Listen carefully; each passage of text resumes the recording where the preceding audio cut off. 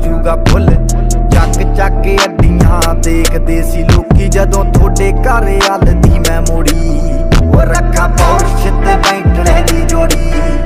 ਇੱਕ ਫੋੜ ਵਾਲਾ ਸੱਪ, ਇੱਕ ਲਾਲ ਰੰਗੀ ਕੋੜੀ ਰੱਖਾ ਪੌਰਸ਼ ਤੇ ਬੈਠਣੇ ਦੀ ਜੋੜੀ।